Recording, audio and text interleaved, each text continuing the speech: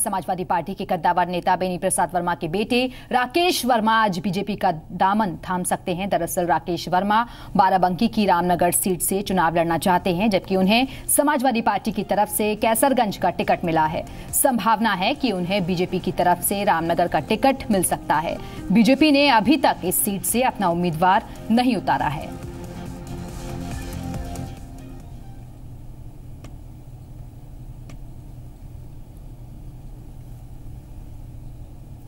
और इस वक्त हमारे संवाददाता विवेक तिवारी हमारे साथ जुड़े हुए हैं। विवेक, आपको वो दौर याद होगा 2007 का जब बेनी प्रसाद वर्मा ने अपने बेटे के लिए टिकट मांगा था, टिकट नहीं मिला तो वो खुद पार्टी छोड़कर चले गए थे, अलग दल बना लिया था।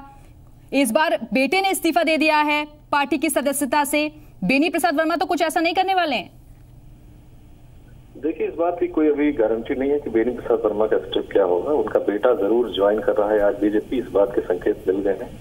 बेनी प्रसाद वर्मा के बारे में भी खबरें आ रही हैं, लेकिन चूँकि वो समाजवादी पार्टी से राज्यसभा सदस्य है, इसलिए उनके छोड़ने पर फ़िलहाल अभी पशुपेश बना हुआ है। लेकिन उनका बेटा ज़रूर आज दोपहर बाद तक बीजेपी ज्वाइन कर लेगा और रामनगर की जो सीट है, जहाँ से वो लड़ना चाहते हैं, वहाँ से उनको बीजेपी का टिकट भी मिलेगा। ये भी बिल्कुल तय माना जा रहा है। चलिए, शुक्रिया आपका विवेक इस जानकारी के लिए।